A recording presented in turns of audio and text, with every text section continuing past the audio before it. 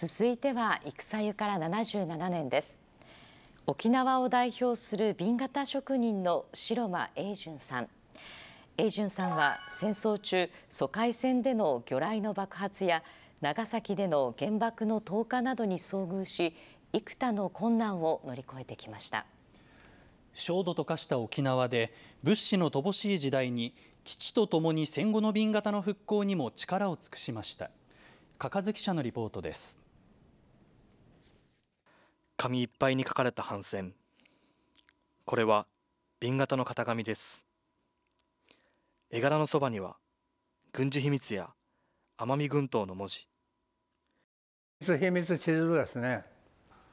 こんなのがたくさんあったんですよ。戦後焼け野原となった首里で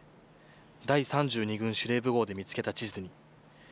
父と共に反戦を書き戦後の瓶型の復活を告げる最初の型紙となりました。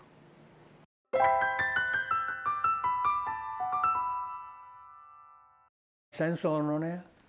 怖さっていうか恐ろしさっていうかもうそれしかないですね。沖縄を代表する瓶型職人で白間瓶型工房の第15代白間永順さん88歳です琉球王国時代から代々瓶型を染め続ける白間家に生まれた永順さんは今の情勢小学校である首里第二国民学校に入学し小学3年生だった1944年8月に学童疎開のため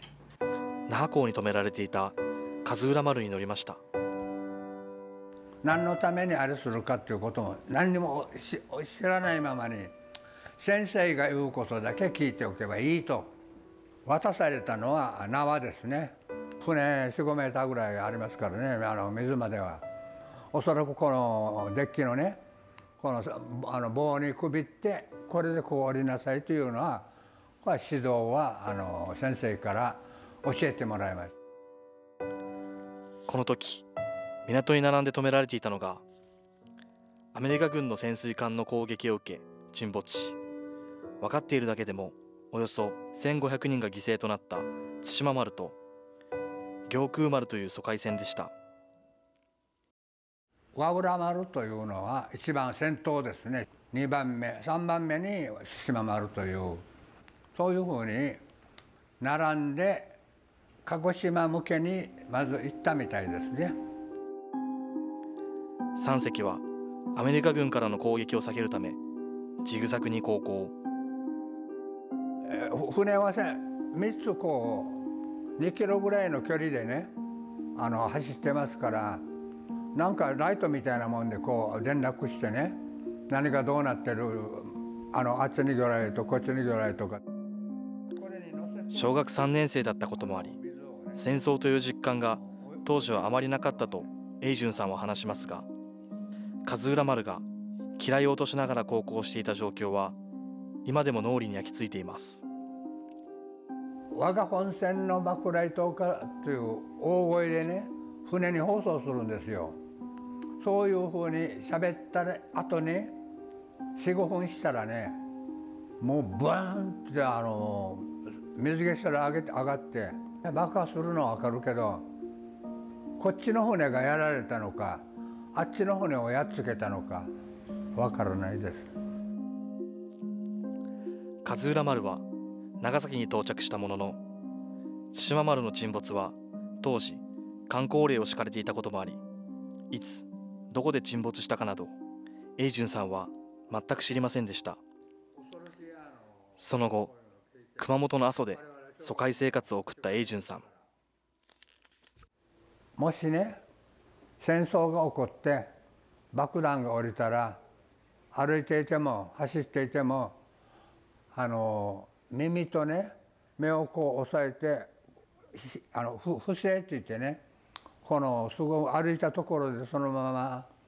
平らになるというねそういう教育ばっかりです。疎開していたため沖縄戦の戦火を免れることができましたが長崎に落とされた原子爆弾の投下は凄まじいものだったと話します。福岡での爆弾の音とかねいろんなものはボンボンボンボンボンってあの響いたりね聞こえるけどこの原爆の音ばっかりはね大きかったです。もう本当に地響きでねもうこの土手の寿司もボロロっと落ちるぐらいにねそのぐらいに響く音ですよ。沖縄戦の翌年永順さんは軍に召集されていた父の英樹さんと首里に戻りました。焼け野原となった首里で父の英樹さんと共に第32軍司令部号で見つけたのは軍事秘密と書かれた奄美群島の地図。地図いっぱいに反戦の絵柄を描き戦後の紅型復活を告げる最初の型紙となりました。また落ちていた鉄砲の弾を焼くなどとして紅型を染める道具として使用するなど物資に乏しい時代を乗り越えました。上の兵隊さんはねテーブルカバーみたいな白いねあんなの引いてそこで飯食ってこれごと捨てるんですよ。これを取ってきてですねもうあの頃は川も水もきれいからこっち洗ってですねそれにいろんな玩具のねあのシーサーとかあの絵描いたりでこれであの型彫ったりですね干してる時に外人がね「 wonderful wonderful」と言って買いに来てるわけですよ。これはもう親父のね執念です。父と共に当時はアメリカ軍から需要の高かったポストカードやネクタイを染めるなどとして紅型を反映戦後からつないできた紅型がいつまでも人々の生活の中にある平和な世の中でやってほしいと永順さんは願います沖縄のその昔の人が残したねその素晴らしい表現というか楽しさ嬉しさ喜びそういうものをねそれに足していくというねあのそういうものにしていきたいなとは思っていますよ。戦後77年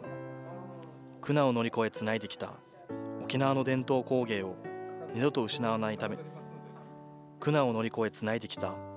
沖縄の伝統工芸を二度と失わないためにも同じ悲劇を繰り返してはなりません。沖縄らしい明るい色彩の紅型が戦後の人々の心を明るく照らしてきたんですよね永順さんたちの紅型を守り抜いた気概に胸打たれます